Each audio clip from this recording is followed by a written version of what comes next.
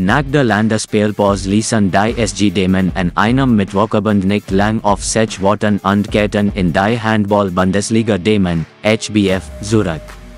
Es war ein schneller Start, ALS Kaba Gassama MIT nur 90 Sekunden auf der Udai Gastgeber war 437 Zuschauern in der Viaduct Sporthall in Führung katapultierte.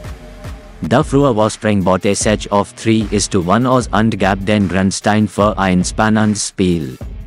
In einem Szenario, das in das DHB Pokalspiel in Neckarsulm drei Wochen zuvor erinnert.